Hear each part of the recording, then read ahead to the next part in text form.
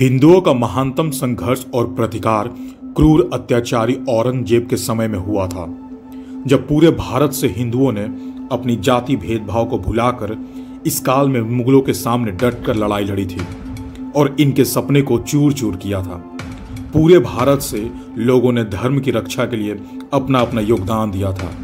हालाँकि इतिहास में इन विदेशी आक्रमणकारियों को ही दर्शाया गया है बढ़ा चढ़ाकर लेकिन हाल ही में हरियाणा की सरकार ने एक ऐसा फैसला लिया है कि अब बाबर औरंगज़ेब की फर्जी इतिहास को नहीं पढ़ाया जाएगा। अब वीर योद्धाओं के इतिहास को पढ़ाया जाएगा। अब महाराणा प्रताप, महाराजा सूरजमल और छत्रपति शिवाजी का इतिहास बच्चे पढ़ेंगे और फर्जी इतिहास से उन्हें छुटकारा मिलेगा। नमस्कार दोस्तों, हम रितेश पांडे, स्वागत करते हैं आप सबका अपने खोया भारत चैनल पर, जहाँ पर इतिहास के आपको उन पन्नों के बारे में बताया जाता है जो कि ना तो कभी किसी ने आपको सुनाया है और ना ही कहीं पढ़ाया है।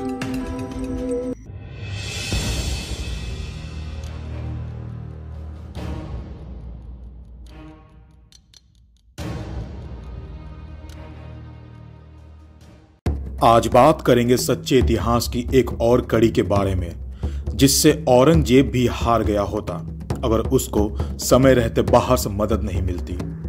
ये वीर योद्धा था वीरवर गोकुला सिंह, जिसको गोकुला जाट के नाम से भी हम जानते हैं। महाराजा सूरजमल जी के ये पूर्वज थे। इनके पिताजी का नाम माधव था। और इतिहास की जानकारी से पता लगता है कि ये सिमसिनी इलाके में इनका जन्म हुआ था। सोलह का समय था, जब औरंगज़ेब के अत्याचारों की वजह से हर जगह त्राही त्राही मची हुई थी। हिंदुओं के स्त्रियों को अपहरण करके उनके साथ बलात्कार किया जाता था। धर्मांतरण किया जाता था और ना जाने क्या क्या अत्याचार हिंदुओं पर होते थे। हिंदुओं पर अत्याचार और प्रताड़ना सिर्फ़ इसलिए होती थी कि वो हिंदू हैं। आगरा से दिल्ली के रास्ते में पड़ने वाली मथुरा की धार्मिक पवित्र भूमि के हिंदुओं को दबाने के लिए औरंगज़ेब ने अपने एक आदमी, अब्दुल नमी को मथुरा का फौजदार नियुक्त किया। अब्दुल नमी ने भी गद्दी संभालते ही फौजदार की अपनी टुकड़ियों के सैनिकों के दस्ते पूरे मथुरा क्षेत्र में फैला दिए। लगान और कर वसूलने के लिए। मतलब हिंदुओं पर, किसानों पर अत्याचार करने के लिए और सिर्फ़ उनको प्रताड़ित करने के लिए। लगान नहीं देने पर स्त्रियों का अपहरण कर लिया जाता था, धर्मांतरण के लिए उनको मजबूर किया जाता था और पुरुषों को मार दिया जाता था। वीरवर गोकुला जाट के आह्वान पर किसानों ने लगान देने से मना कर दिया। पूरे क्षेत्र के किसानों ने यह आवाज़ उठाई। जब यह बात औरंगज़ेब तक पहुँची तो उसने शाही इस्लामिक फरमान सुना दिया और कहा, काफिरों के मंदिरों को तोड़ दिया जाए। उसके बाद कितने ही गुप्त काल तक के मंदिरों को तोड़ दिया गया और बहुत पुराने समय के मंदिरों को भी ध्वस्त कर दिया गया। सोलह में अब्दुल नबी ने सिरोहा गाँव पर हमला किया और उस समय वीर गोकुला जाट भी उसी गाँव में उस समय मौजूद थे। इतिहास साक्षी है कि उस दिन इसकी सेना को गाजर मूली की तरह किसानों ने और वीर गोकुला की सेना ने काटा था। औरंगज़ेब का झंडा मथुरा और आगरा तक से भी गायब कर दिया गया था। औरंगज़ेब के पास जब ये गूंज पहुँची तो उसने सैफ सिखन खा को मथुरा का और आगरा का फौजदार नियुक्त किया और उसके साथ उसने भेजा रंगादास खां को वीर गोकुला का सामना करने के लिए। वीर गोकुला जाट की सेना में सभी समाज के भाई बहन शामिल थे। सभी ने अपना योगदान दिया था। गुज्जर, अहिर, ठाकुर, सभी समाज के लोग वीर गोकुला की किसानी सेना में थे, जिन्होंने डट कर मुगलों से सामना किया था और धर्म और देश की रक्षा के लिए अपना योगदान दिया था। गोकुला की सेना एक बड़ा उदाहरण है कि हमारे यहाँ जातिवाद की कोई जगह नहीं थी। ये सब अंग्रेज़ों के और इन मुगलों के कारण ही देश में ये बीमारी आई थी। पाँच महीने तक ना जाने कितनी बार सैफ सिकन खान ने वीर गोकुला जी के साथ युद्ध किया और हर बार जीत गोकुला की ही हुई थी। अंत में सैफ सिखन खान ने संधि प्रस्ताव भेजा और उसमें लिखा गया कि जितना भी तुमने लूट कर सामान इकट्ठा किया है, अगर वो तुम दे दो तो तुम्हें बादशाह के द्वारा क्षमा कर दिया जाएगा। धर्म की रक्षा कर रहे वीर गोकुला ने इसका जवाब दिया और इस संधि को अस्वीकार कर दिया। उन्होंने कहा कि तुम्हारे बादशाह को मुझसे माफ़ी मांगनी चाहिए। उसने मेरे धर्म का अपमान किया है। मेरे मंदिरों को हानि पहुंचाई है। उसे मुझसे माफ़ी मांगनी ही पड़ेगी। इसके बाद औरंगज़ेब ने सोलह में खुद वीर गोकुला से लड़ने आया और तिलपर से 20 मील दूर इन शाही सेनाओं का मुकाबला हुआ।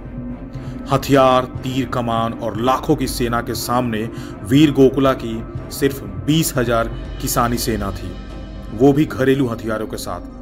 लेकिन इस वीर योद्धा के सामने वो भी कम पड़ गई थी। इतिहास गवाह है कि उस समय सिर्फ़ वीरों ने नहीं, चौधरानियों ने भी लड़ाई लड़ी थी। महिलाओं ने भी अपना योगदान इस लड़ाई में दिया था। पानीपत जैसा युद्ध भी एक दिन चला था, लेकिन ये युद्ध तीन दिन तक चला। पूरे तीन दिन तक वीर गोकुला जाट की सेना ने औरंगज़ेब की सेना को नाको चने चबाए थे। चौथे दिन तक वीर गोकुला की सेना जीत रही थी। लेकिन तभी एक बड़ी विशाल सेना औरंगज़ेब की मदद के लिए आ गई, जिसको हसन अली खान लीड कर रहा था। उसने आकर औरंगज़ेब की ताकत को दुगना कर दिया और उसके बाद वीर गोकुला की सेना धीरे धीरे ये लड़ाई हार गई। लड़ाई के चौथे दिन हज़ारों की संख्या में बहन, बेटी और औरतों ने जौहर किया था, ताकि वो इन आक्रमणकारियों मुगलों के हाथ ना लगे। और उसके बाद वीर गोकुला जाट और उनके ताऊ उदय सिंह को सात हज़ार किसान सैनिकों के साथ बंदी बना लिया गया था। आगरा ले जाकर इनसे पूछा गया, जान की कहर चाहते हो तो इस्लाम कबूल कर लो, रसूल के रास्ते पर चलो। बोलो, क्या चाहिए, इस्लाम या मौत? तब सभी ने एक सुर में जवाब दिया था कि, तेरा खुदा और रसूल का रास्ता यही है जिस पर तू चल रहा है तो हमें इस रास्ते पर नहीं चलना है।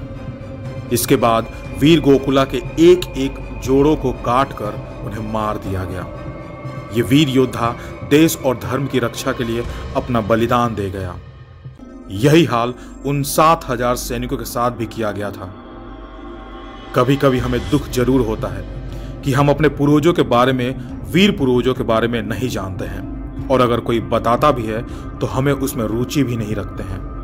खैर, हमारा ये प्रयास हमेशा ही रहेगा। लोग रुचि ले या ना ले, सही इतिहास को, हमारे वीर पूर्वजों के इतिहास को हम अपने वीडियो के माध्यम से लोगों तक पहुंचाते रहेंगे। इस वीडियो को देखने के बाद आपकी क्या राय है, हमें कमेंट करके ज़रूर बताइएगा। और अगर चैनल पर नए हैं तो सब्सक्राइब कर बेल आइकन ज़रूर प्रेस कर लें। तो चलिए, अगली वीडियो मिलते हैं कुछ नई जानकारी के साथ, कुछ नए इतिहास के साथ।